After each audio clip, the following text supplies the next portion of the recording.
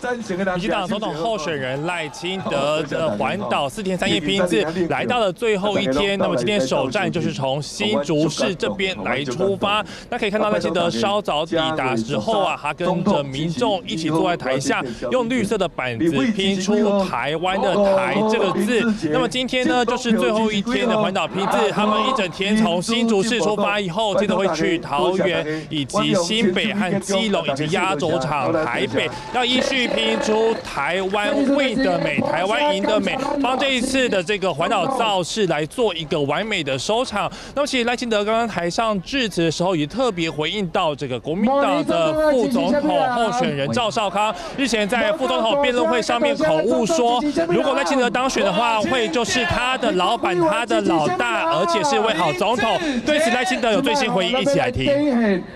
赵少康先生公开说。赖赖清德当选，就是他的老大。赖清德就是他的老板。赖清德就是他心目中的扫黑英雄。赖清德将来会是最好的总统。我要跟大家说，赖清德当总统。人民才是老大，人民才是老板。哦，因为民主民主。